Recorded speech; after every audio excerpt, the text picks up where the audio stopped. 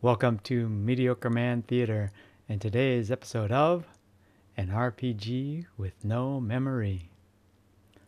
We find our hero out and about doing his daily routine. Yes, Mediocre Man.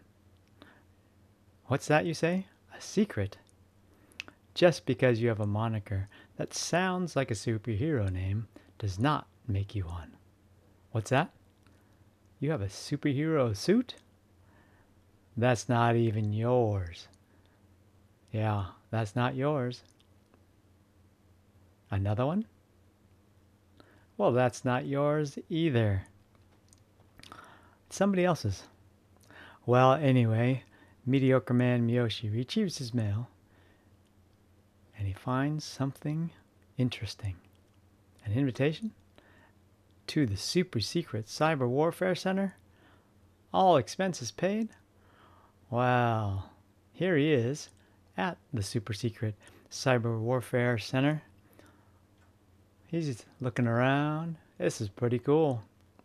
When all of a sudden he gets hit by a rave. Not like that.